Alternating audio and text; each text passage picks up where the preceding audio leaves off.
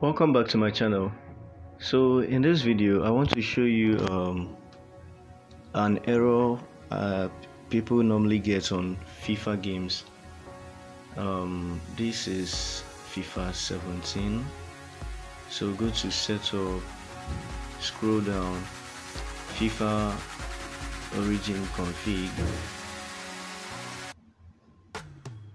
So this is the issue it never opens up but if you open the FIFA itself the game plays but the config never opens. So that's a big problem. This FIFA will definitely load now but the config will never open. I it's i don't know why it does like that but i've been able to figure out the problem.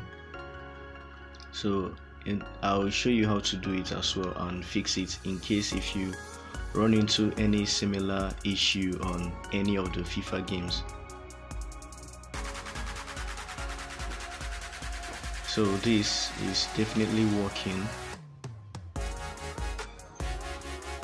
I'll close it up now and uh, show you the easy fix for the game settings. So just download this Microsoft Visual C++ it's on my telegram channel.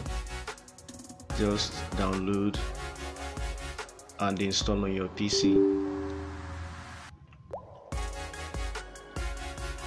it doesn't take time. Once you are done I'll scroll down to the FIFA config and then wait for it.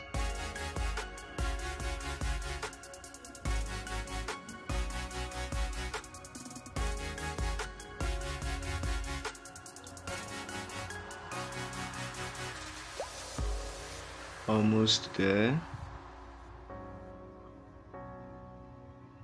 Okay we are done. So this is it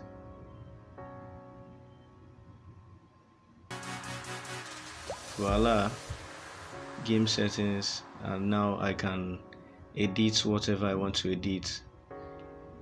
So that's it. Please don't forget to like and subscribe and share to your friends. Thank you